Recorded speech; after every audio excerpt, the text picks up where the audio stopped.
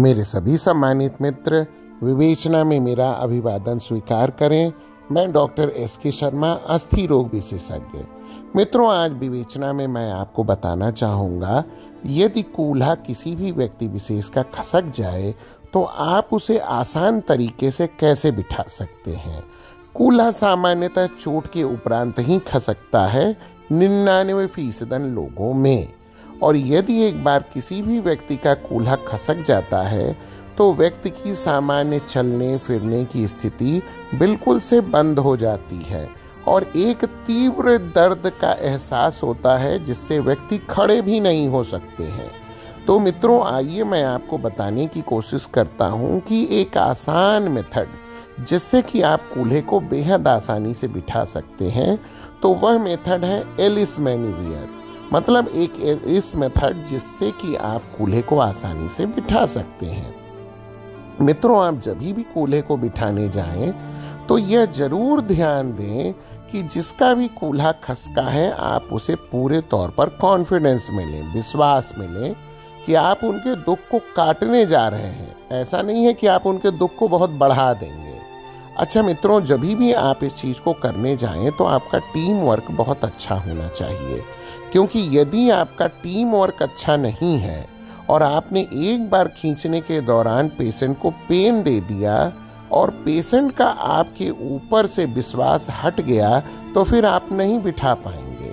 तो फिर काफ़ी दिक्कत होगी। तो मित्रों, आइए मैं आपको बताता हूँ आप इसे कैसे बिठा सकते हैं। जैसा आप इस एक्सरे में देख सकते हैं, यह एक पोस्टियर डिसलोकेशन ऑफ़ हिप है। इस हिप को बिठाने का मैन्यूवियर एलिस मेथड लिया गया है। रुकिए। आप अपना नाम बताइए, साहब। भारत भाई। भारत भाई, देखिए, अगर कूल्हा खसक गया और आपने साथ नहीं दिया तो कोई नहीं बिठा पाएगा। आज तक हमने ऑपरेशन थिएटर की दहलीज अंदर नहीं लाई है कूल्हा बिठाने के लिए।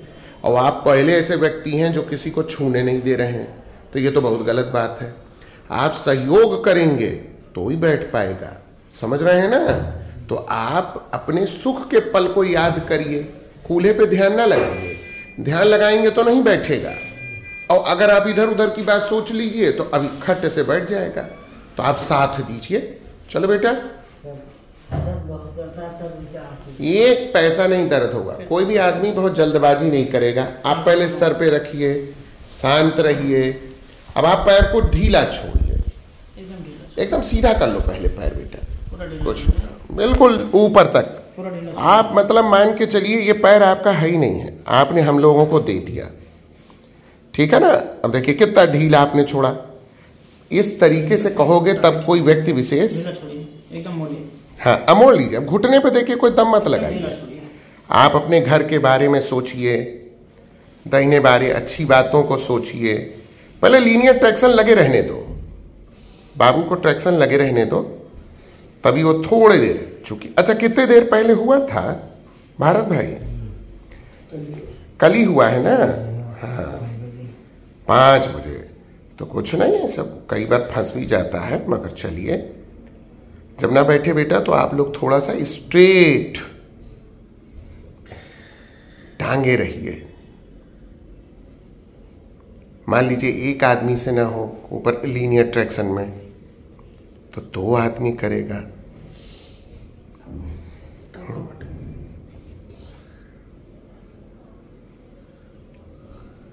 बाइसेप्स की मसल और जंघे की हैमस्ट्रिंग ना ना, दोनों दबाओ। ये भी दबा के रखो।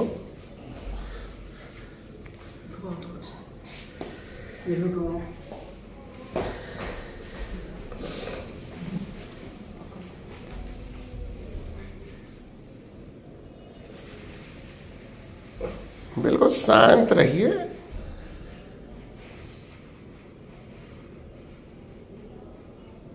थोड़ा सा दाहिने बाएँ ट्विस्ट करो, राकेश।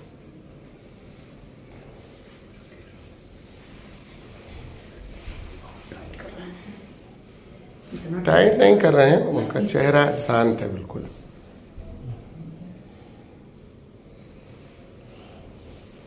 हाँ आगे तक ले आओ, आगे आगे, और फ्लेक्स करो।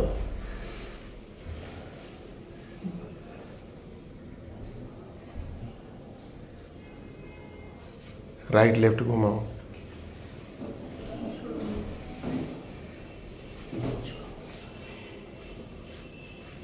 ढीला छोड़े भाई साहब ढीला ढीला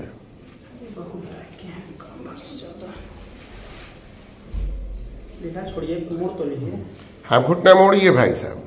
हाँ। हाँ आप बैठने वाला है। अब आप हमारी तरफ़ सोचिए। हाँ बिल्कुल आराम छोड़िए। बस बेटा बैठने वाला है। बैठ गया मुझे लग रहा है। सारा दुख कट गया ना? ढीला छोड़िए। ढीला छोड़िए ढीला भैया मार ढीला छोड़िए एकदम भैया ढीला छोड़िए। हाँ सर जी छोड़ दिया ढीला। आया है थोड़ा। सर जी।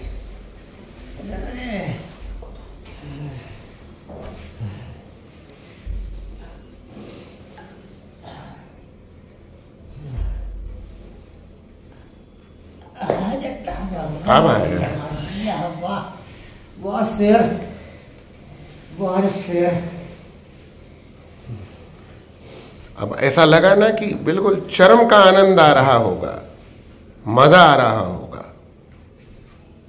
बहुत शानदार। अरे यहीं बिठा दे वो बेचारे पेन में। है तो इस प्रकार से कंधा, माफ़ करें, कूल्हा बिठाया जाता है भारत भाई। भारत जैसा विशाल राष्ट्र का नाम है आपका और आप इतना हिम्मत न कर पाए।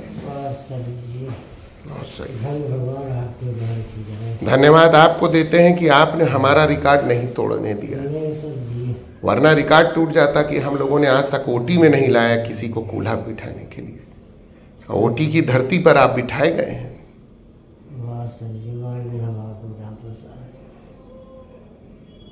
ज़िंदगी में पहली बार हुआ सर। अरे सब सब डॉक्टर ऐसे अच्छे हैं। तो- नहीं कोई कुछ परेशान नहीं किया होगा।